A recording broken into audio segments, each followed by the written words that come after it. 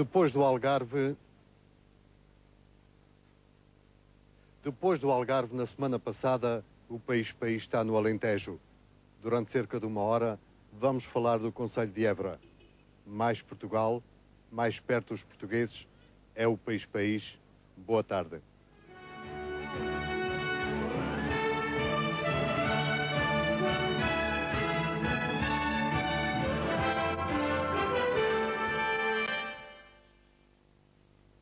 O País País tem acompanhado as principais provas ciclopédicas neste início de temporada.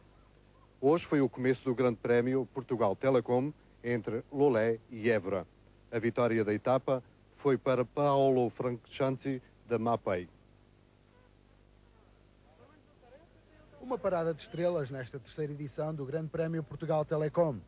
Ian Norritz era a partida o mais credenciado dos 148 ciclistas que se apresentaram hoje em Tavira para a primeira etapa.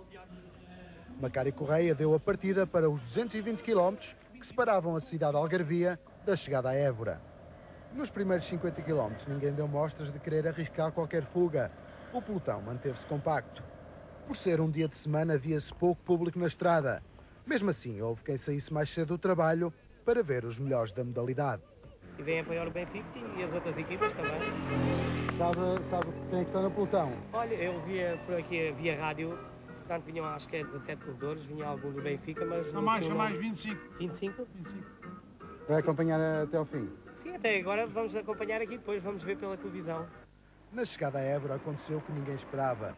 Três ciclistas que tinham fugido ao resto do pelotão terminavam a corrida com quase meia hora de vantagem. Paulo Lanfranchi foi o vencedor desta etapa. Amanhã o ciclista italiano da Mapei sai de amarelo na etapa que liga Évora a Tomar. Évora e o Alentejo em geral são ricos em vários tipos de artesanato. Uma das principais e tradicionais é a pintura floral em mobiliário.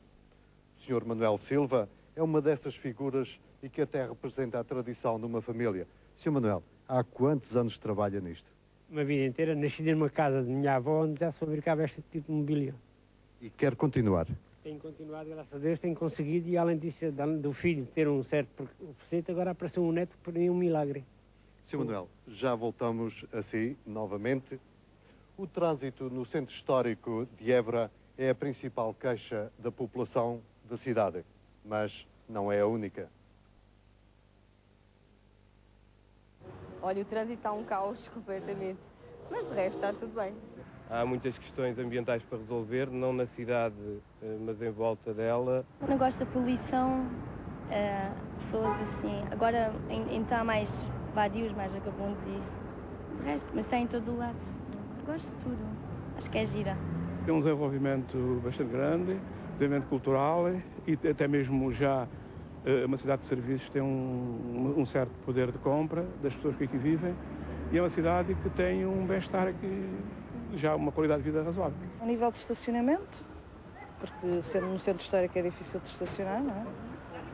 Depois é uma cidade em que já vai havendo muitos problemas com droga. É pena que Évora não tenha uma área uma área natural conservada em que as pessoas que visitam a cidade possam também visitar uma área natural e era tão fácil criá-la aqui perto. É muito suja a cidade. Destes e de outros assuntos vamos falar ao longo da segunda parte. A recuperação e especulação imobiliária no centro histórico de Évora atinge proporções alarmantes. A Universidade e os seus 7 mil alunos transformam a vida da cidade ebrense. Desemprego um problema estrutural sem solução à vista dos tempos mais próximos. As histórias e as conversas depois do intervalo com Jorge Pinto, vereador da Câmara de Évora, a socióloga Mariana Cascais e a diretora do Instituto de Emprego e Formação Profissional de Évora, Gabriela Silva. E logo no começo, conheça as modas leitejanas ao som dos cantos da Aurora. Então, até já.